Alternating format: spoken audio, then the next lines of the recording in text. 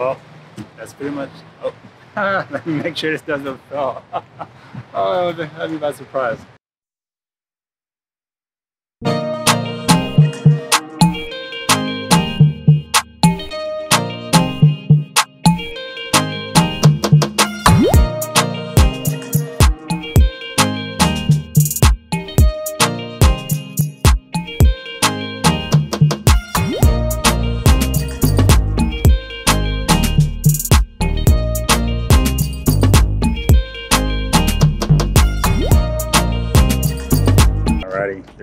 It's my Yamaha XSR 900. This is a 2016 version. It is a gray aluminum, a gray metallic. I think that's what they call it. But yeah, here she is.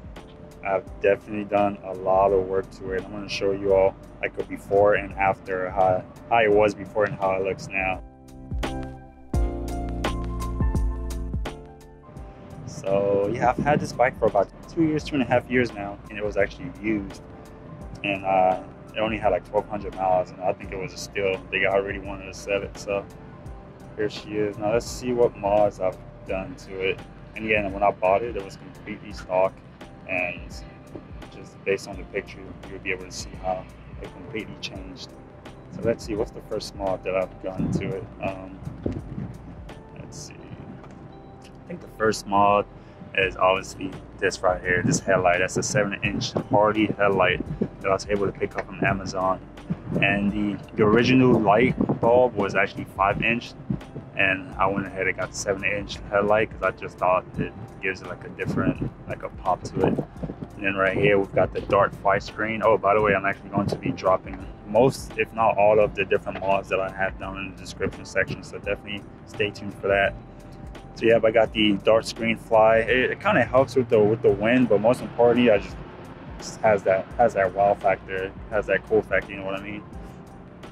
And let's see what else did I get here. This is aftermarket. It's just uh, Motodemic LED headlights, turn signals actually. Let me see if I can turn them on. Probably might not be able to see it as clear. Yep, yes you can, it's right there. And these things are super bright, especially during the nighttime, so turn those off.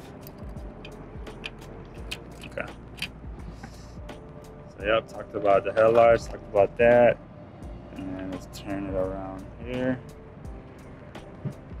What we got? Got cramp buster that's aftermarket too. It kind of helps your hand when you're on the long distance drives. And then we got the trip machine little leather leather guards here for throttle and for over there. These are actually pretty sick. I got these from amazon.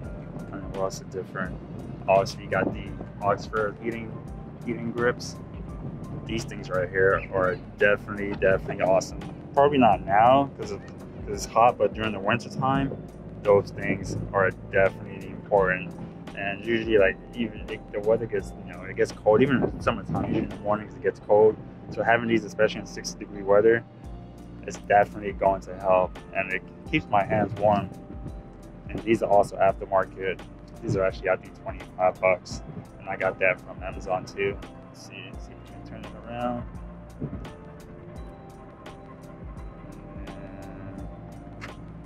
What else did I get? Oh, the CRG, CRG levers right here. These also aftermarket. And these uh, sliders right here, also aftermarket. I don't know if you can see it right there. Those are cool too. Let's see if we can maybe pan back and see what else. Uh, let's see what else catches my attention. What else did I do? I did so much to this thing that I don't even know sometimes. I don't know if you can see it. Let's see it. Let's see can make this lighter. All right there. That's that's an Akrapovic exhaust, full exhaust system. And I took out all of the naming just because I wanted the bike to look clean. But that's I think that's probably the most important, the most expensive thing I got on this bike. Definitely sounds loud. I'll probably turn it on in a little bit. So that's aftermarket. So turn it back off. And then I got this cage right here. That's also that's also aftermarket. Picked that up from Higdonian. It's this guy that does parts, I think in Las Vegas, if I'm correct. I'll drop his link down below if you guys are interested. And then as you can see, I've got a lot of red. Well, not really a lot of red, just a lot of little red accents that I wanted to add on the bike. And I think that's pretty cool. This is a red accent that I picked up from Amazon. It just, you know, makes it pop. And the, good, the cool thing about this is that at nighttime it kind of glows. So when you have headlights showing on it, it glows up. So that's pretty cool. And then obviously I went with a little Deadpool right there just so I can hide the uh, Yamaha branding. I take all of the branding out for the most part. But yeah, put that there, Marvel. That's actually Deadpool, who, who's a character in Marvel. So he's actually one of my favorite Marvel characters and then foot pegs that's also aftermarket foot pegs believe it or not this bike here can fit two people but this is like the, the one of the few one of the first mods that i have i've got different cc you'll see throughout the different logs i'll be showing just the different combinations that you can have this bike so what else did i do to it this i can put saddlebags on i'll show you all in a bit but yeah i can put saddlebags this is it didn't come with the bike but it's an option that you can buy I think they still have that option now. And uh, what else did I put? Yep. This is also aftermarket. It's Tech chain adjusters. All right, so the cool thing about these chain adjusters is that it's super easy. You just bolt them on. It has a little tool right here that you just click and it adjusts the chain. And it's super simple. And also, this is also aftermarket. But yeah, this is actually one of the few times that I've actually sat down and actually licked at my bike. I just feel like I've just been modding it so much and just riding it that I haven't actually sat back and actually just looked at how nice and complete it is. It's, it's pretty crazy. And the saddlebags here, you can add them there. So I'm actually going to put this down and then show you all how I uh, add the saddlebags. So bear with me.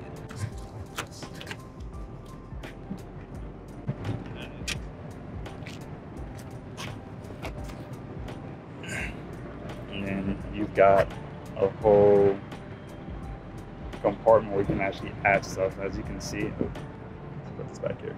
So as you can see, it actually it changes the way the bike looks with the saddlebag, and that's like one of the one of the other models that's so cool about this bike and just how customizable it is.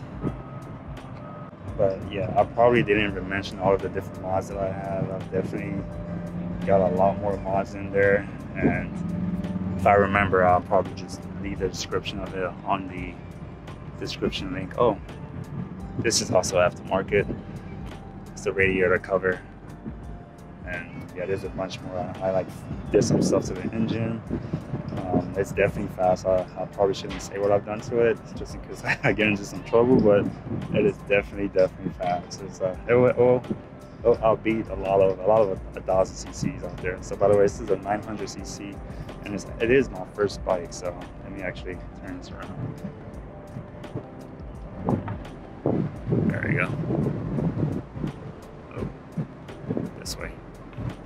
So yeah, so that's actually my first bike, and a lot of people were telling me not to buy this bike because it was too fast and too big for me. Um, I'm not gonna lie, it was at first, but I definitely wanted something where I can have a quicker learning curve and I wouldn't get tired of it. As compared to some people who get like a 600cc, which is still a lot of power, I would definitely recommend you off to start with a 600cc bike before you move up. But yeah, I, I, I didn't grow up riding motorcycles, but I did ride a couple dirt bikes when I was when I was younger. And when I was in school, I had a like a 100 or 200, 250 cc um, scooter. So I, I definitely knew that I could definitely handle some power. And this is perfect for me. I definitely want to keep it for a while. I don't probably won't even upgrade for a minute. Um, the only probably the only bike I would definitely consider is the Yamaha VMAX. If you know what I'm talking about, do me a favor, smash that like button but that bike is insane. But that one, it's actually it's pretty good. It's pretty good, especially with the different modifications that I have and the different looks that I'm going to share with you all later on.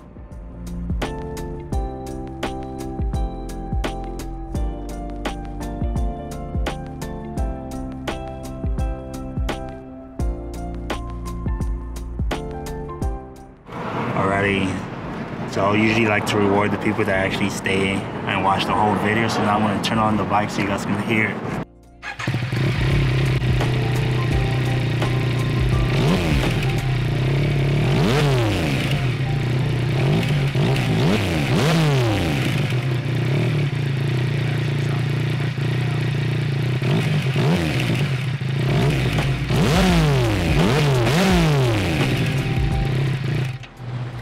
Pretty much it for today's video.